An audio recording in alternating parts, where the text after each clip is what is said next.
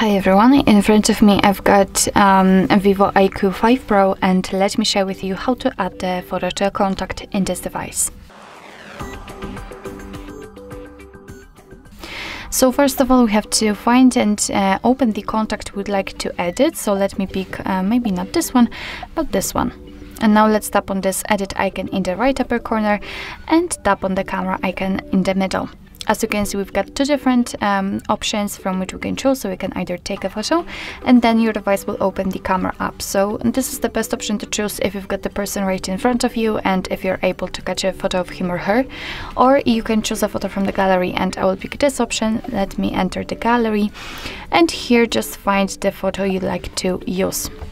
And as you can see, uh, from this step we can adjust the size of this highlighted square. Uh, unfortunately, we cannot zoom in or out the photo, or we can. No, we can't. We just can uh, resize this uh, square. And uh, thanks to this, we can decide what we will see after saving the whole contact, because basically this area is responsible for it. So just uh, if you're happy with your choice, just tap on done in the right upper corner.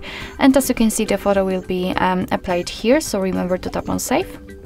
And as you can see, uh, this is how our uh, contact looks. Uh, what's more, you will be able to see this photo on the um, on the list uh, and for example whilst all incoming calls from that number.